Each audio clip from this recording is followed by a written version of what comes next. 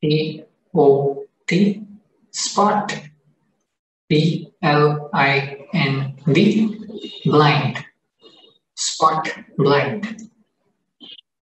Spot is intentionally left blank. I have never completely seen myself. I have only seen my image. I am myself's blind spot the theme blind spot this talk on blind spot. The word blind spot, quite literally, is its own blind spot. If a talk is supposed to express something about blind spot, it is a self-blind talk. How is it going to be a blind spot if I am able to talk about it? Aren't blind spots supposed to be not accessible? So this talk is blind to itself. The emphasis is not to talk about it. We shall value not doing it. Let us again consider the sentence. This spot is intentionally left blank. The very expression of this no longer leaves the spot blank. This sentence is blind to itself. In mathematics, the number zero while symbolic expression is a blind spot to itself. The number zero is supposed to be representing something that does not exist. The very fact that we can write it, express it out, no longer leaves it as something that does not exist. Hence, it is its own blind spot. Another counting number, say 1, is a representation of an object which exists. Saying one apple, we may trace back the apple which is being represented by the number 1. Similarly, for the counting number 2, we can trace back the apple and the other apple which are being represented by the number 2. However, for the number 0, no such thing can be done. So we must carefully examine and value the things that cannot be done. In logic, the expression of this comes about in 1931 Gödel's incompleteness theorem, part B of which is closed. But we have a consistent system cannot show its own consistency. This is based on a sentence such as this part is intentionally left blank, but with the logical value. So this English sentence shall be translated into a logical sentence. The logic sentence to consider is this sentence is false. Let us explore how we are to give a logical value to it, either true or false. If the sentence is given true, then this sentence is false is true. Well, then true is this sentence is false. So we started with the sentence which, if true, leads us then to the conclusion that it is false, not consistent. Let us try the other way. If the logic sentence is false, then this sentence is false is not true. Well, then true is that this sentence is not false. So it must be true. Again, we started with logic sentence is false, then conclude that the logic sentence is true. This is not consistent. Since if we start with a true value, then we end up getting a false value. If we start with a false value, we end up getting a true value. Let us take another perspective based on a physical setting. Let us consider a place with people, person A, person B, person C, of whom one is a barber. The condition is that barber shaves person precisely if the person does not shave themselves. Let us consider the barber's dilemma to shave or not to shave themselves. In the logical setting, the, the sentence translates as barber shave themselves. Now let us explore how are we to give a logical value, either true or false to this logic sentence. If the sentence is given true value, then the barber shave themselves is true then according to the condition, the person being shaved shall not be shaving themselves. The person here is the barber. So then true is that barber not shave themselves. So we started if the sentence is given true value, then we conclude that the barber is not shaving, so the sentence is false. Let us try the other way. If the logic sentence is false, then the barber not shave themselves is true. But the barber is a person, and a person who not shave themselves, according to the condition, must have the barber shave the person, which is themselves. So then true is that the barber shaved himself. So if we start with a false value given to this logic sentence, then we conclude that this must be true. So no consistent logic value may be assigned to this. In these cases, we cannot give a distinguished truth value consistently to the sentence. This sentence is a blind spot of logic. What is the blind spot behind the blind spot? Remember, I am myself's blind spot. Well, then we shall question self-interaction. How is it possible to interact with the self if it is a blind spot? How can I refer to myself if I have never completely seen myself? Is a blind spot being invoked and talked about? How can, in this case, how can a person shave themselves? The condition stated above is that the barber shaves the person precisely when the person does not shave themselves. Well, the barber is also a person. In fact, the barber was originally a person before taking up the functional identity of a barber. Thus, every person must be treated on the same footing now. And a person in general may take up the barber identity or a person may exclusively adopt a customer identity who does not do the act of shaving. These are exclusive.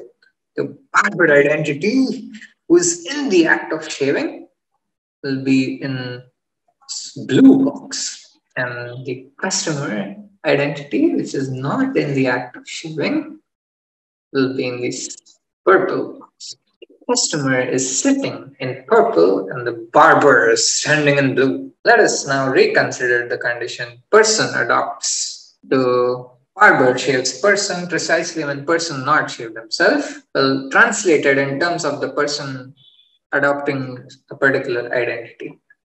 The first half, barber shave person, translates as the person adopts corporate identity standing in blue for a person who adopts customer identity sitting in purple. Well, the second half, person not shave themselves translates to person does not adopt the corporate identity given that the person has adopted the customer identity sitting in purple. Well, this is true by definition of the distinguished identity. If a person were to shave themselves, the same person would have to adopt both the corporate identity and the customer identity, which is contradictory. Hence, reinforcing that the person cannot shave themselves.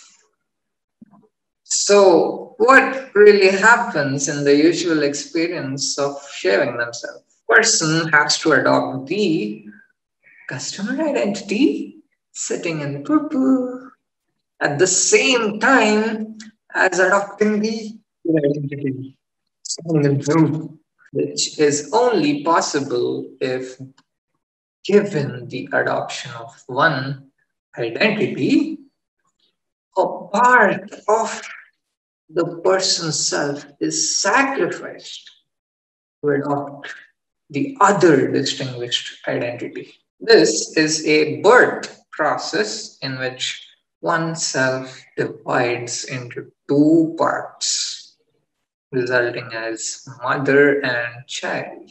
This necessarily requires going blind to the self.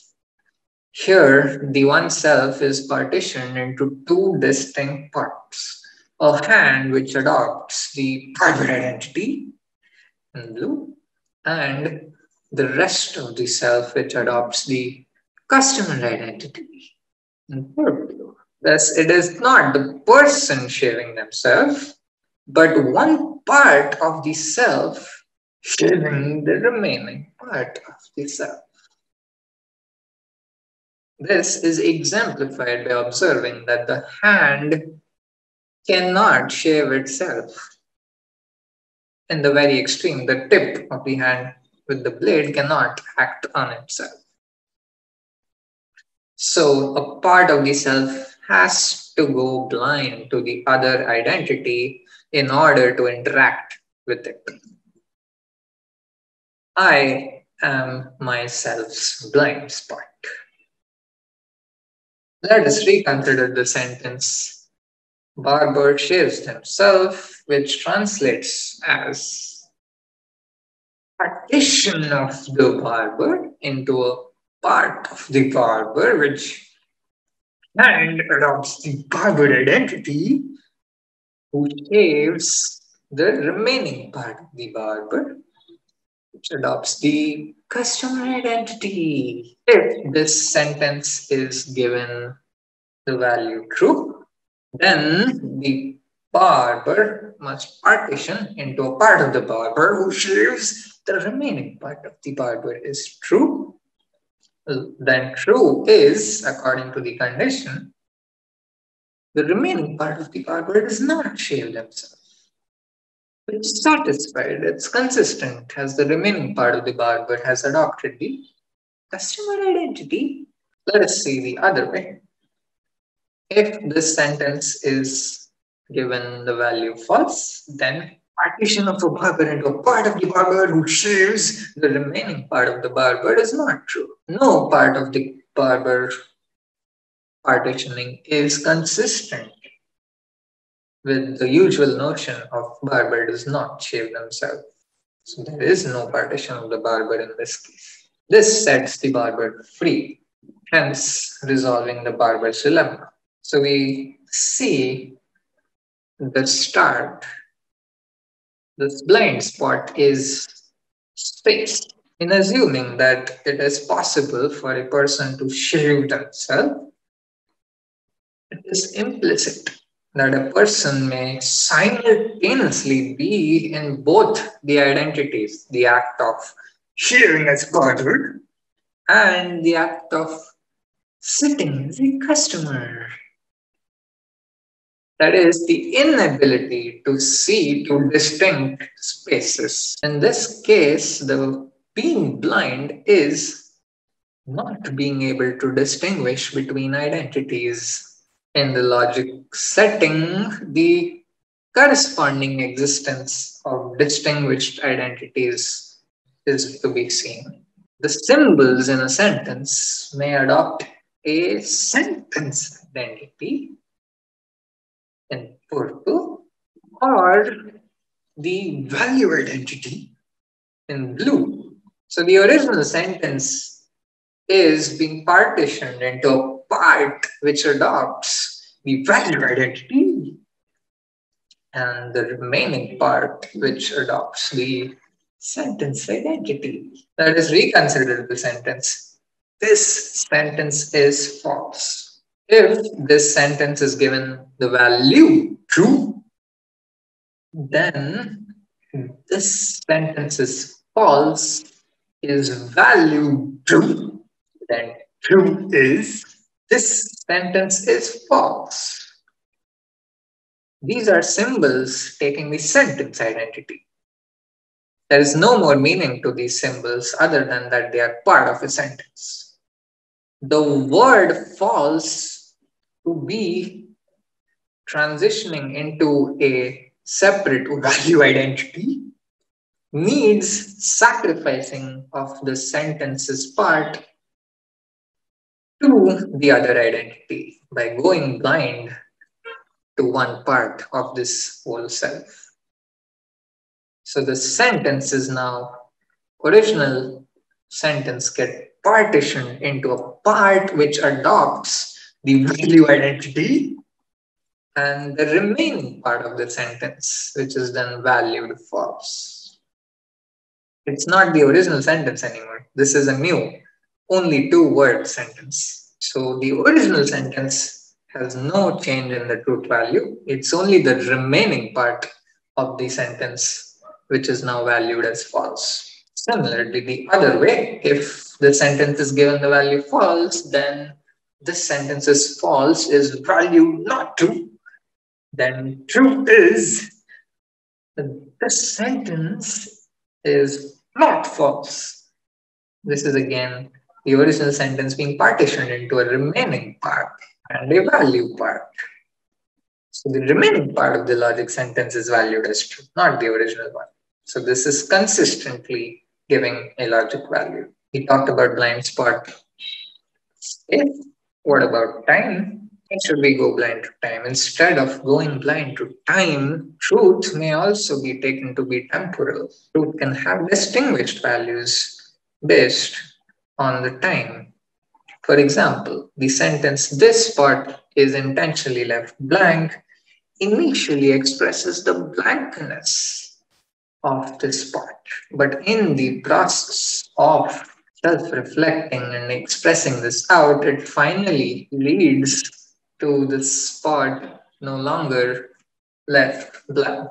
Similarly, in the logical setting, starting with the logical value, say initially true, is a temporary value to be considered, which in the process of exploring the self may finally lead to a false value. This gives a different notion of temporal consistency in which the previously considered blind spot does not arise. He considered blind spot space, time, whose essence is the fact that I am blind to myself. I am myself's blind spot. A blind spot is indeed a gift, as it is essential to the creation or birth of a distinguished identity and interaction with it, just as in the birth of a mother and child from oneself. Thank you. The remaining part of this talk is intentionally left blank.